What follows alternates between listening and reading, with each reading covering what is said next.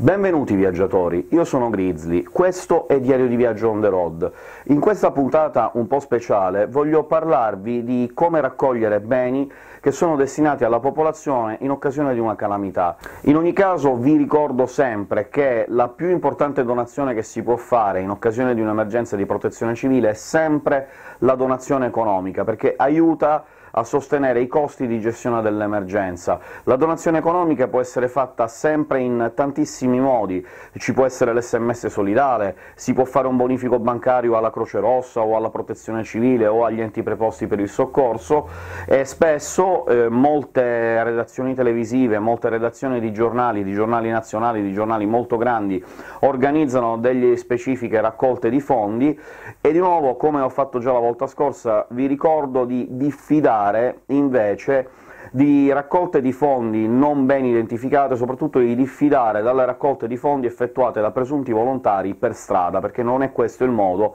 di raccogliere fondi in caso di un'emergenza. Ci sono dei canali ufficiali, non esistono le persone che girano per strada chiedendo soldi. Detto questo, comunque, come ripeto, ci sono tantissime persone che ritengono che possa essere utile fare una donazione più tangibile che il denaro, o comunque di associare alla donazione di denaro anche qualcosa di più tangibile, un bene, un, della roba da mangiare o delle coperte.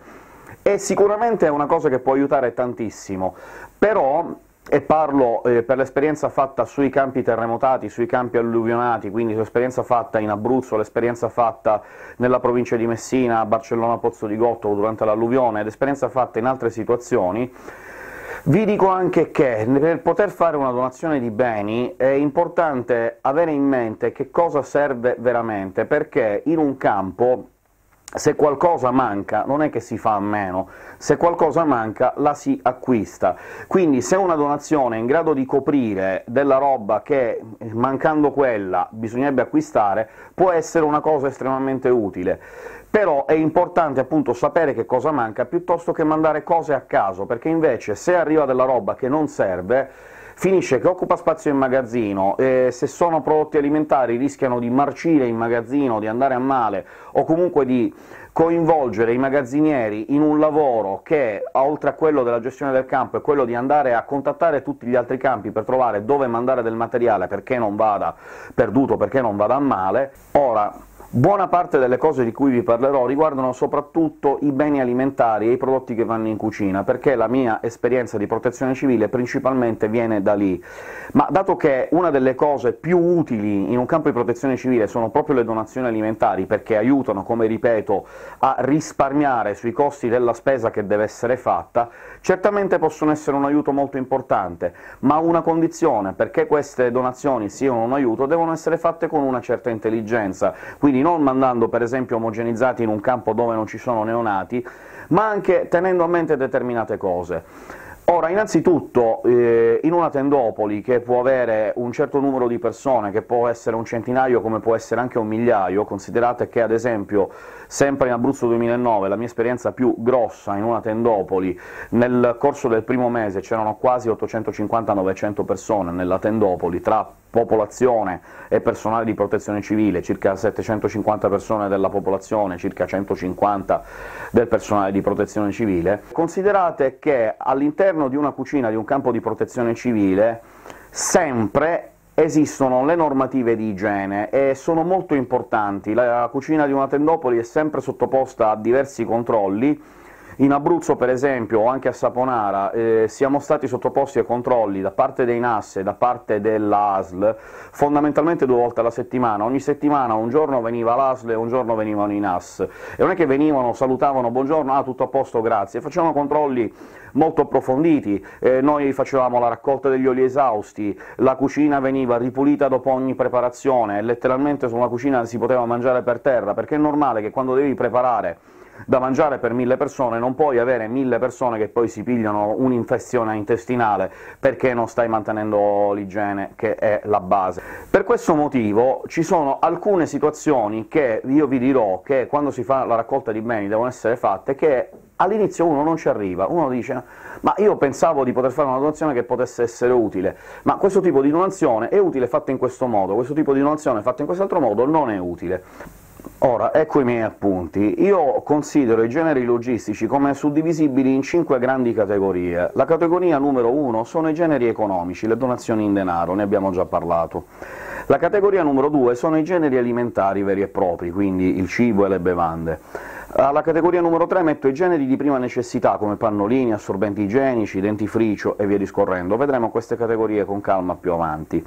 Alla categoria numero 4 metto i generi di conforto come abiti o coperte, e infine alla categoria numero 5 metto i generi di supporto come giocattoli o libri. Andiamo a analizzare, abbiamo detto già la categoria 1, le donazioni di denaro, che è molto importante, vi ho detto come andare a fare una donazione di denaro con l'SMS solidale, con il bonifico. Passiamo quindi alle donazioni di generi alimentari, che è una delle cose che si fa più spesso in occasione di un'emergenza, e che può essere una delle cose veramente più utili, soprattutto nella cucina di un campo di protezione civile. Per fare fare una donazione alimentare bisogna avere un minimo di logica, per cui considerate questo, questo video, più che essere rivolto ai singoli che vogliono fare una donazione di prodotti alimentari, in realtà si rivolge a quelle associazioni, a quei comitati parrocchiali, a quei gruppi di persone che vogliono raccogliere dei beni materiali, quindi del cibo, delle bevande, eh, qualcosa da poter mandare materialmente su nel campo di protezione civile, in maniera tale che questa raccolta venga organizzata e poi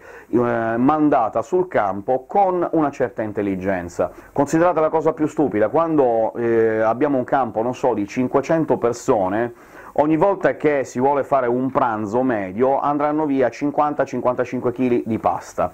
Perché il cuoco considera di fare certo 120 grammi di pasta per ogni persona, per 500 persone fanno una cinquantina di chili. Considerate 55 kg di pasta, 55 kg di pasta, se io ho 55 kg di pasta che è tutta dello stesso tipo, tutta con lo stesso tempo di cottura, la posso fare, ma se io ho 55 pacchi di pasta da un chilo, tutti e 55 diversi, non è che mi posso mettere a fare 55 pentole per cuocere 55 tipi diversi di pasta. Ecco che quando arrivano le donazioni si cerca di mettere assieme tutta la pasta dello stesso tipo, ed ecco perché vi dico, se vi mettete in gruppo, piuttosto che dire «va bene, comprate della pasta», il gruppo può dire «allora comprate, non lo so, delle mezze penne della Barilla. Tutti quanti raccogliete mezze penne Barilla. Dice «ma perché un solo tipo di pasta?» Perché così, se in un campo che deve utilizzare 50-55 kg di pasta ogni volta arrivano 100 kg di pasta, il cuoco può dire «va bene, oggi e domani abbiamo la pasta per poter cucinare, non c'è bisogno di andarla a comprare». Mentre se arriveranno 3 kg di mezze penne, 3 kg di penne, 3 kg di questo, 2 kg di quello, 1 kg di quell'altro, li possiamo mettere in magazzino e vedere se riusciamo a raggiungere le quantità, altrimenti quelle che mancano dovranno comunque essere comprate. Parliamo di generi alimentari e cominciamo a parlare della colazione. La colazione è divisa in due parti, una parte che viene data alla popolazione e una parte che deve essere preparata dalla cucina. Che vuol dire? La parte che deve essere preparata a, dalla cucina riguarda il caffè, il latte e il tè. La parte che viene data alla popolazione saranno i biscotti, le fette biscottate, eccetera. Ora, quando si raccoglie della roba per la popolazione, ci sono, come ho già accennato, i problemi di igiene a cui bisogna sottostare. Per questo motivo, quando si raccolgono beni alimentari per la colazione che devono andare alla popolazione, l'ideale è di non raccogliere, non so, marmellata in barattoli da 200 grammi, quanto piuttosto di raccogliere le cose nella cosiddetta modalità monouso, le marmellatine nella piccola confezione, il miele in bustine, lo zucchero, invece che mandare pacchi di zucchero da un chilo, mandate pacchi di zucchero in bustine, eh, il dolcificante, se volete, può essere utile anche quello, un dolcificante del fruttosio, però sempre nelle bustine, perché può essere utilizzato in monouso, se io apro un pacco di zucchero da un chilo, dopo non è che lo posso lasciare lì, non è che può essere utilizzato dalla, da altri, quindi per motivi di igiene bisogna che sia così. Lo stesso discorso, un barattolo di marmellata da 200 grammi, mi viene più comodo prendere il barattolo monouso, il, la monoporzione, quando ne è avanzata metà la butterò via, però almeno butto via 2 grammi di marmellata. Lo stesso discorso sui biscotti e sulle fette biscottate, piuttosto che mandare pacchi molto grandi di biscotti, pacchi molto grandi di fette biscottate, vedete se riuscite a trovare le fette biscottate che sono in monoporzione, che sono due fette, quattro fette chiuse nel cellofan, miele, marmellata, zucchero, anche la crema spalmabile al cacao, eh, ci sono le modalità in monoporzione che sono naturalmente molto comode. Considerate di raccogliere latte di tipo UHT nel Tetra Pak, non mandate latte in bottiglie, non mandate assolutamente latte fresco pastorizzato, non mandate uova né uova fresche, né uova pastorizzate, né prodotti a base di uova, tipo il bianco d'uovo nel cartone. Non li mandate. Per quanto concerne i prodotti freschi, la cucina li compra e li deve comprare freschi ogni giorno. Anche la frutta e la verdura devono essere comprati freschi sul posto, perché è più sicuro, non ci sono eh, dubbi con il trasporto, la roba arriva con il camion frigorifero e viene messa nel frigorifero, quindi non ci sono rischi di abbattimenti di temperatura, eccetera. Quindi evitate di raccogliere prodotti freschi. Questo non solo per la colazione, ma in genere. Preferibilmente non mandate fiocchi d'avena per la colazione, da una parte perché appunto c'è il problema dell'igiene, che non possiamo dare confezioni di fiocchi d'avena alla popolazione, poi la popolazione cosa fa? Se li mette in tenda, che magari stanno lì con il caldo, magari attirano le formiche,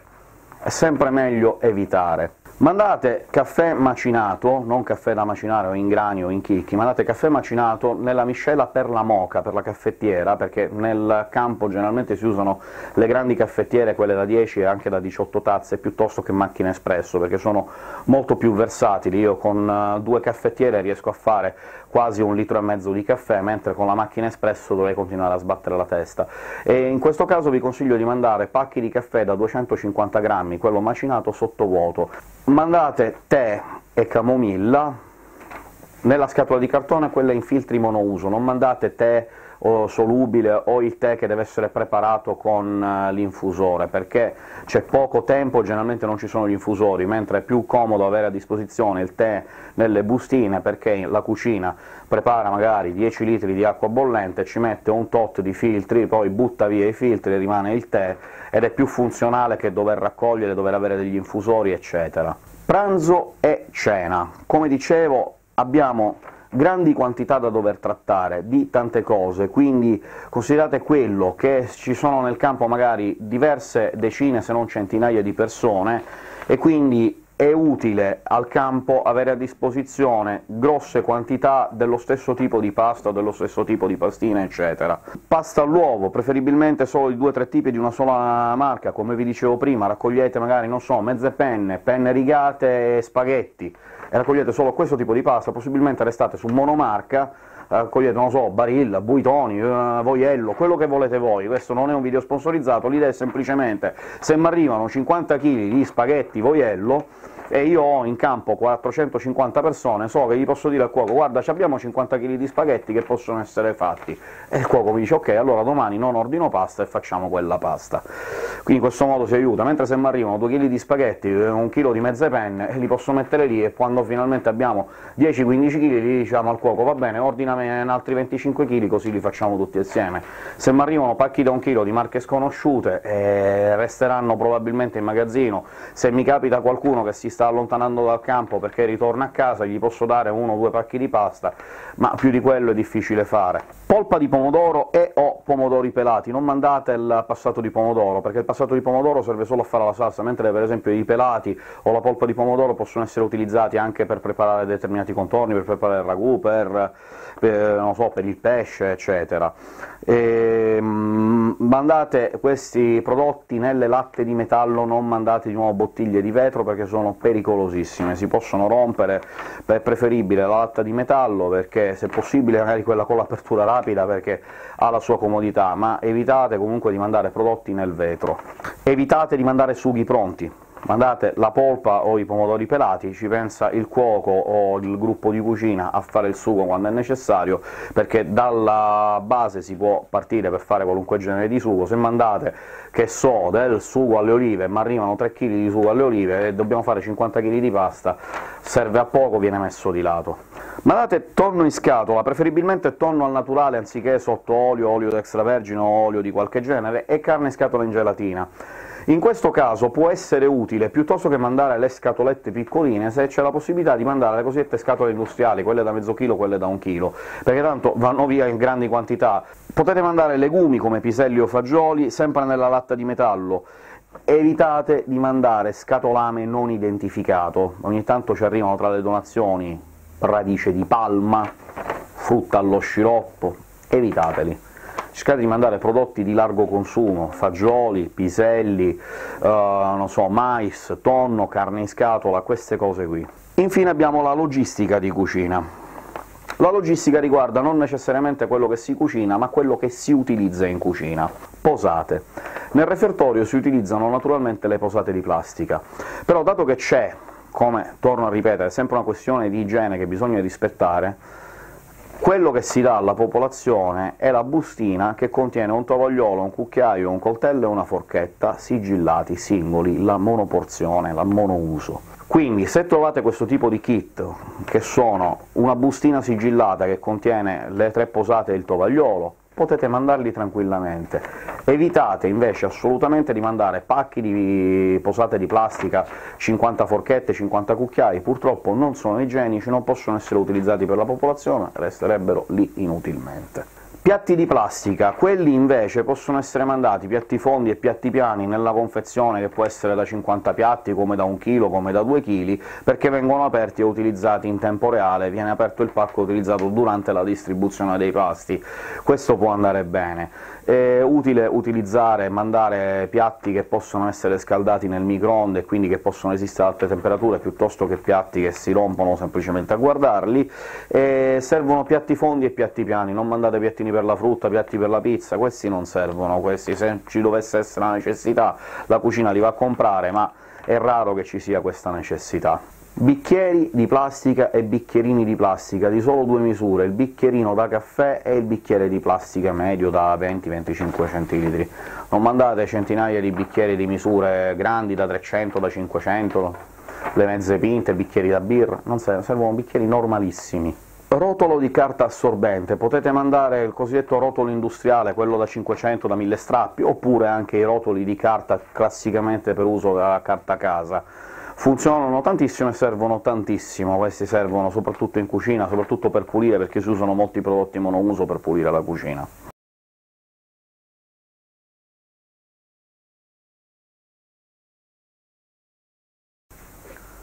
Per mandare la roba è utile sentirsi con le associazioni di volontariato sul territorio per vedere come organizzarsi, perché soprattutto se nel vostro territorio è partita la colonna mobile di protezione civile, come ripeto ogni settimana 10 giorni, massimo 14 giorni, si dà il cambio, perché non è che il personale arriva lì e resta lì fino alla fine dell'emergenza. Il campo resta lì, il personale ruota, perché naturalmente non è possibile lavorare quasi 24 ore al giorno senza esplodere e quindi quando deve partire il gruppo che dà il cambio, praticamente parte il gruppo, arriva sul posto e riparte il gruppo che ha finito il turno. Il gruppo che arriva sul posto eh, partirà con dei pulmini, con dei camion, con determinati mezzi, e su questi mezzi ci sarà dello spazio occupato dai bagagli del personale, ma ci potrebbe essere dello spazio disponibile per trasportare la roba, appunto, quindi per trasportare dei generi di prima necessità, per trasportare i vestiti, per trasportare quello che eventualmente avete raccolto, quindi mettersi mettersi in contatto con l'associazione di volontariato può essere anche un modo per fare questo discorso. In mancanza di questo mettetevi in contatto, non lo so, con la Protezione Civile o con la Croce Rossa per vedere se ci sono dei, dei, centri di raccolta della Protezione Civile che raccolgono il materiale e lo fanno arrivare nei campi, quindi rivolgetevi alla Protezione Civile o alla Croce Rossa o alle associazioni di volontariato che ci sono sul territorio per fare questo tipo di donazioni.